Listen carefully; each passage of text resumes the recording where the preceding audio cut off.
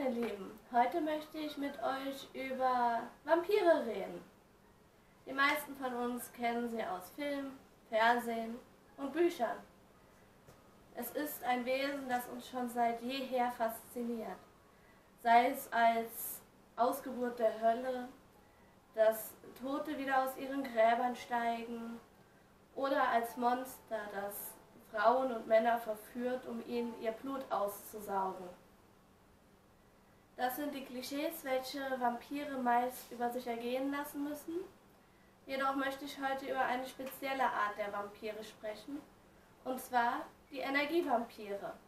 Es sind meist Menschen, die sich in das Umfeld von einem schleichen und so die eigene Energie versuchen zu rauben. Diese kann man erkennen, indem sie eine Opferrolle annehmen und immer deine Hilfe haben möchten, dir aber selbst dafür nicht helfen wollen. Oder dass sie versuchen, dich einzuschüchtern, wie es in oftmals ungesunden Beziehungen ist. Dies kann auf der Arbeit oder auch zu Hause sein.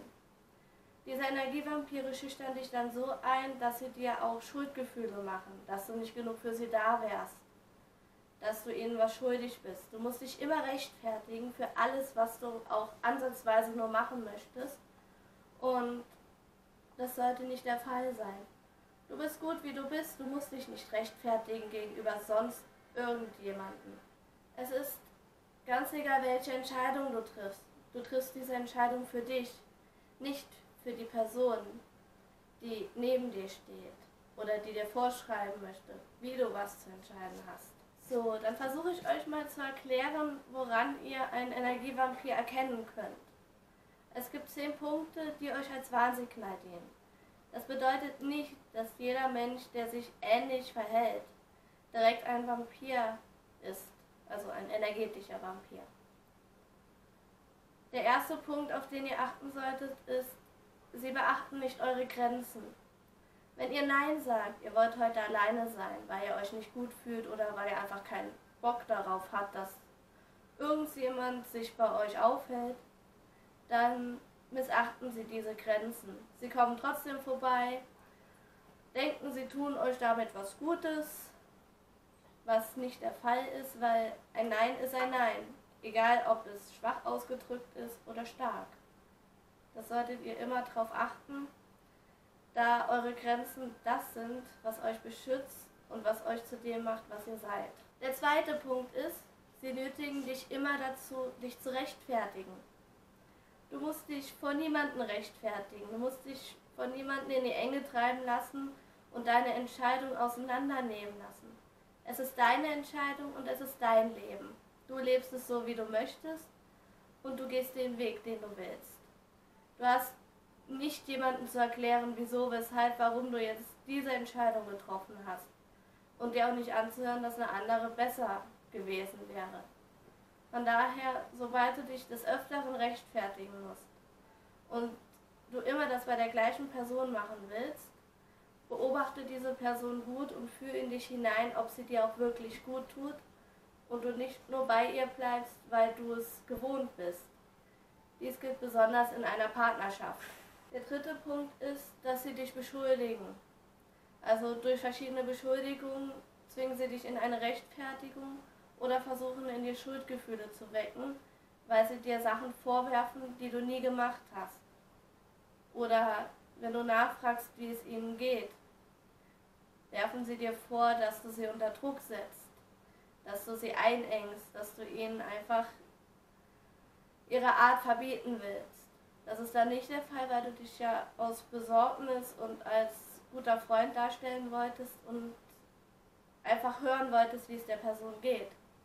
Von daher, es muss nicht immer sein, dass die Menschen dann energetische Vampire sind, aber sollte das zu oft vorkommen, würde ich doch nochmal in mich hineinhören.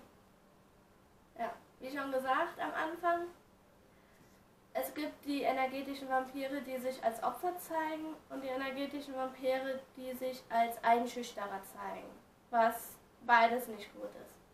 Wenn du einen Freund hast, der sich als Opfer darstellt und du ihm immer und immer wieder hilfst und einfach nichts ankommt.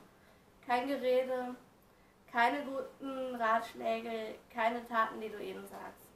Dann kann es sein, dass er ein Vampir ist, da ganz frei nach dem Motto, wenn er mir doch bereitwillig seine Energie gibt, warum soll ich mich anstrengen, was an meiner Lage zu ändern?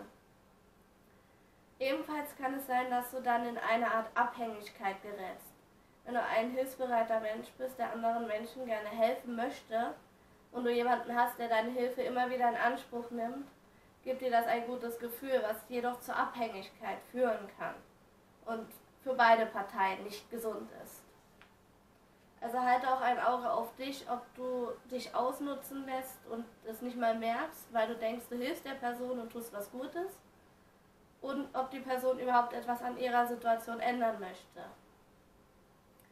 Einschüchterer sind die, welche meist einen psychischen Druck ausüben und versuchen so, dich unter Kontrolle zu halten. Sie wollen vielleicht, dass du dich änderst, dass du dein Aussehen änderst, dein Verhalten änderst, dass du das tust, was sie dir sagen und andere Bereiche noch. Dabei können sie das entweder durch brachiale Gewalt anschreien oder aber leise und hinterrücks machen. Beides sind dann Einschüchterer, weil du dich entweder von ihnen bedrängt, bedroht oder eingeschüchtert fühlst. Achte darauf und und wenn du merkst, dass du in einer ungesunden Beziehung bist, überlege dir, wie du da rauskommst. Ob mit Hilfe oder ohne, ist dir dabei auch überlassen. Dann gibt es noch den Punkt, dass sie dich gerne in Konflikte verwickeln. Weil durch diese Konflikte können sie dann Schuldgefühle in dir streuen und suggerieren. Das kann was ganz Unbedeutendes sein, wie ein kleiner Streit, eine Meinungsverschiedenheit oder einfach, dass du nicht Lust auf das Essen hast, was er dir vorschlägt oder sie dir vorschlägt. Daraus wird dann ein Konflikt entwickelt, ein Streit entsteht und danach werden dir dann Schuldgefühle eingetrichtert, weil du ja angeblich überreagiert hättest. Achte darauf, wie oft das vorkommt, weil in jeder guten Beziehung streitet man mal, das ist normal. Und ja, sollte das zu oft vorkommen oder auch in der Firma so sein, dass du für Sachen, die du nicht machen möchtest, dann plötzlich in einem Konflikt stehst, Überleg dir, ob die Kollegen, die dich in diesen Konflikt immer wieder bringen, gut für dich sind. Dann geht es weiter. Du fühlst dich in ihrer Nähe ausgelaugt, energielos, schlapp, aggressiv oder einfach nur schlecht.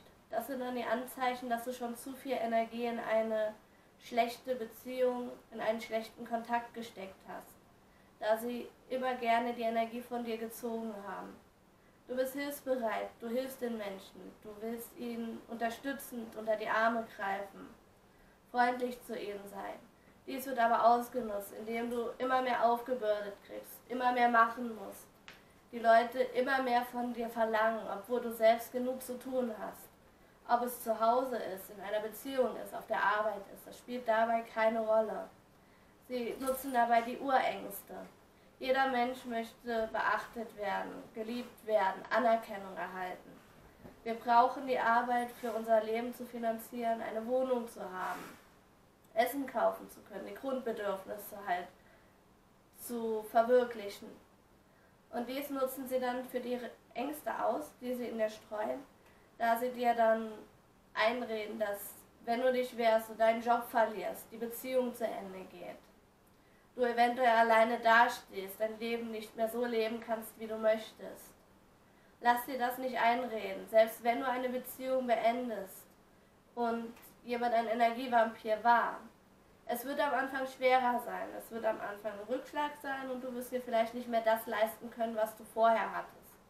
Jedoch wird es dir im Nachhinein um einiges besser gehen, da du deine Energie wieder für dich selbst zur Verfügung hast und nicht in eine ungesunde Beziehung steckst. Ebenso auf der Arbeit. Kein Betrieb wird dich kündigen, bloß weil du mal deinem Kollegen sagst, nein, ich kann das nicht, ich habe meine eigenen Aufgaben, ich bin ausgelastet. Oder etwas ablehnst. Lass dir das auf keinen Fall einreden.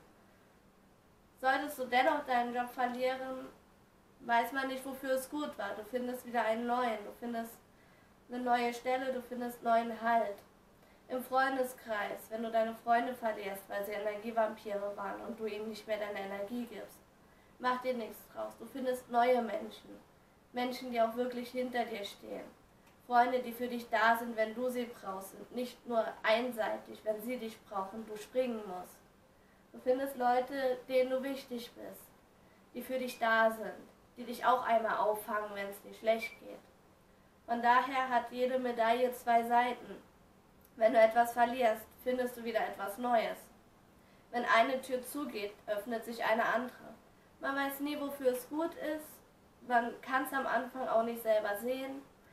Aber wenn du zurückblickst, wirst du merken, für wie viele Sachen du schon dankbar sein kannst, die sich geändert haben, wo du am Anfang dachtest, dass du den Boden unter den Füßen verlierst. Von daher, sei guter Dinge, bleib positiv, lass dich nicht unterkriegen, egal was wer auch immer sagt. Du bist gut, wie du bist. Lass dich nicht verbiegen. Jeder Mensch ist einzigartig. Und das sollten wir auch immer im Hinterkopf behalten. Wir sind, wie wir sind, und das ist wichtig. Wir können nicht alle Kopien von irgendeiner perfekten Person sein, die nicht mehr existiert. Jeder Mensch hat seine Macken, jeder Mensch hat seine Probleme. Jeder Mensch muss damit umgehen. Und so musst du auch lernen, selbst für dich einzustehen. Das war's für heute mit dem Video. Ich wünsche eine ruhige und entspannte Zeit. Bis zum nächsten Video. Eure Tora, alias Miltonplate.